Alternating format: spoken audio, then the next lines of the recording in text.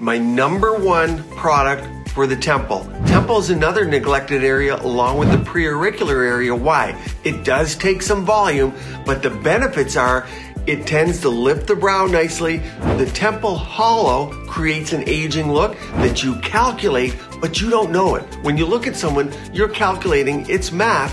One of the things is a hollow temple. What do I like? Number one, Sculptra PLLA, because Sculptra is a skin tightener. It is a volumizer if used right. Number two, if people want a more permanent solution, I go to PMMA or Bellafill. Now, a lot of people have tried fat. Fat can work, but for many, it just doesn't take.